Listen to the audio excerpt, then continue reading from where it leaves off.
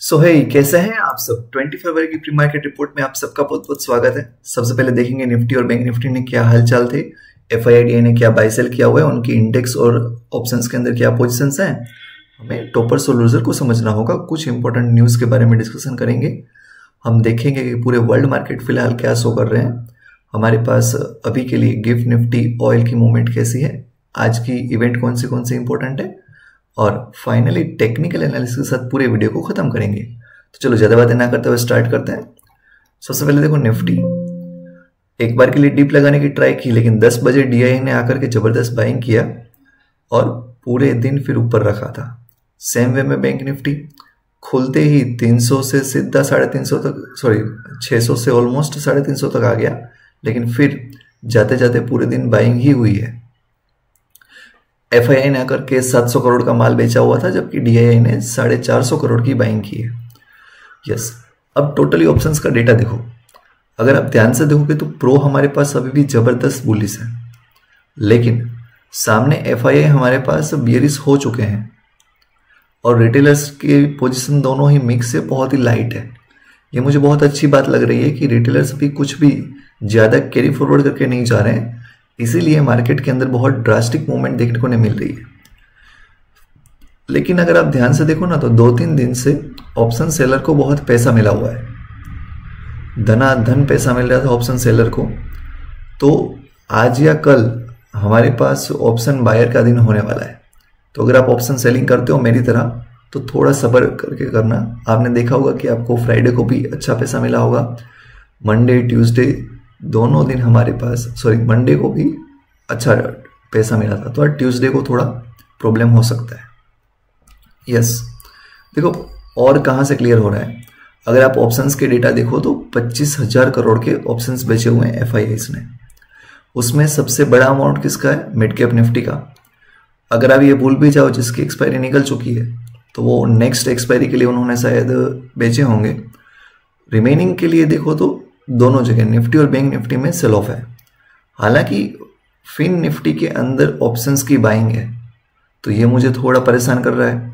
और परेशानी यहाँ से भी आ रही है कि सात करोड़ जितने यहाँ पे इंडेक्स के फ्यूचर बाई क्यों है, लेकिन इससे तो क्या ही फ़र्क पड़ेगा। निफ्टी फिफ्टी के लिए अभी भी बुलिसनेस ही है। लेकिन कल मतलब आज जिसकी एक्सपायरी है फाइन फिन निफ्टी, उसमें कुछ ऊपर नीचे हो सकता है। सेक्टर वाइज देखो तो 27 स्टॉक अप थे 23 डाउन थे, जिसमें गवर्नमेंट के बैंक और आईटी ये दोनों डाउन थे, बाकी ऑटो एफएमसीजी फार्मा सब कुछ अप था। ग्रेजिम आदित्य बिरला की कंपनी है, वो तीन परसेंट ऊपर भागी हुई थी बजाज फाइनेंस ऊपर था। अगर आज भी बजाज फिनसव और फाइनेंस ऊपर रहते हैं तो फिन निफ्टी में पॉजिटिविटी होगी। कॉल इंडिया नेगेटिव न्यूज़ के चलते डाउन था L N T S B I वो सब कुछ। कॉल इंडिया की नेगेटिव न्यूज़ देखो तो वहाँ पे ई ऑक्शन का प्रीमियम से लेकर के कुछ पंगा था। उनके चेयरमैन ने एक दो बातें खराब बोल दी तो गिरना था। हमें ये न्यूज़ वाले स्टॉक को टच ही नहीं करना है। यस देखो H D F C bank कल खोलते ही गिरा था। अगर H D F C bank नहीं गिरता तो बैंक निफ्टी भी नहीं गिरता। अभी जो शार्प फॉल इनिशियल दिख रही है H D F C bank का चार्ट है। एफ़ इंडेक्स के अंदर रीबैलेंसिंग हो रही है और वहाँ पे एच डी एफ़ सी को हटाया जा रहा है। मतलब ये यूरोप की एक इंडेक्स है, वहाँ पे रीबैलेंसिंग के चलते HDFC में हमारे पास सेल ऑफ़ आया था। अगर आज वन वे मूवमेंट देनी है अप साइड तो HDFC के अंदर बाइंग होनी चाहिए। यस अब ये कुछ और इम्पोर्टेंट कंपनीज़ हैं जिसको इस एफ़ में ऐड करने वाले हैं तो इन सब में भी आपको ज़बरदस्त मूवमेंट देखने को मिल सकती है। आईटीसी से रिलेटेड एक पॉजिटिव न्यूज़ है कि वहाँ पे जो बैंक ऑफ़ अमेरिका है, उसको लेकर के माना जा रहा है कि कुछ स्टेक्स वगैरह वो परचेस करने वाले हैं। तो यहाँ पे रिकवरी हमको देखने को मिली थी। ये मंथ वाइज देखो तो बहुत ही डाउन है, दस परसेंट डाउन है एक मंथ में ही। लेकिन आने वाले दिनों में ऊपर जाने की चांस है। टोटल 2700 स्टॉक ट्रेड हुए थे, जिसमें से 1500 अप थे, जबकि 1000 डाउन तो सीधी सी बात है ओवरऑल मार्केट अभी बुलिस ही चल रहा है। तो गलती से भी शॉर्ट की मत सोचना। यस एशियन मार्केट हमारे पास मिक्स है, देखो, यहाँ से नेगेटिविटी आ रही है हांगकॉन्ग एक नेगेटिव है चाइना पूरा बुलिस है सॉरी जबकि ऑस्ट्रेलिया साउथ कोरिया ये सब भी नेगेटिव है। European market mix to positive है, कोई टेंशन लेने वाली बात नहीं है। अमेरिकन मार्केट तो बंद था तो यहाँ पे देखने का कोई सेंस नहीं बनता। ये सब कुछ एज इट इज़ रहने दो। इंडियन एरियाज़ भी नहीं डेवलप हुए होंगे, इन सबको देखना नहीं है, क्योंकि वहाँ पे हॉलीडे था। डाउ फ्यूचर को देख सकते हैं, जो कि 60 पॉइंट डाउन दिखा रहा है। गिफ्ट निफ्टी ज़बरदस्त फ्लैट खुलेगा। ऑयल के अंदर झुकेगा नहीं साला, बढ़ते ही जा रहा है।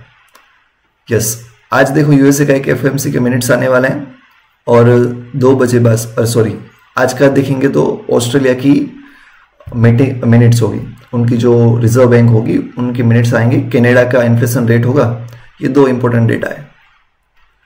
यस टेक्निकली अभी भी बुलिसनेस ही है ऑल टाइम हाई लगा चुका है। आज हो सकता है कि और गैप अप खुले तो फिर कंटिन्यू बाइंग होने में डाउट्स हैं। देखते हैं आगे क्या होता है। गिफ्ट निफ्टी लेकिन सॉरी बैंक निफ्टी यहाँ पे बड़ा सा डब्ल्यू बनाया हुआ है। तो एक बार के लिए यहाँ पे ब्रेकआउट हो रहा है तो आराम से 400-500 पॉइंट जाना चाहिए। लेकिन एचडीएफसी के बिना जाने का पॉसिबल नहीं लगता है मुझे। तो अगर आज एच में बाइंग हो रही है तो बिंदास आप फिन निफ्टी में बाई कर सकते हो। यस यहाँ पे देखो कॉल और पुट दोनों भर भर के राइट हुए हैं। ज़बरदस्त पुट राइटिंग भी है और ज़बरदस्त कॉल राइटिंग भी है। तो आज ये कोई भी एक साइड मूवमेंट देने लगे तो फिर पीछे मुड़ के मत देखना, क्योंकि सारों के सारों लोगों के स्टॉप लॉस हंट होंगे। मान लो कि वो ऊपर की ओर भाग रहा है तो ये सब कॉल राइटर्स भागेंगे। अगर नीचे आ रहा है वन वे में तो पुट राइटर्स भी ट्रैप हो सकते हैं। तो दोनों साइड आज मूवमेंट मिल सकती है फिन निफ्टी में। देखना होगा कि एच बैंक कैसे कर रहा है। चेंज इन ऑय में भी देखो कॉल राइटिंग के नंबर बढ़े हुए हैं। और कॉल राइटिंग किसने की हुई है? एफ़ ने। तो यहाँ पे दिक्कत है।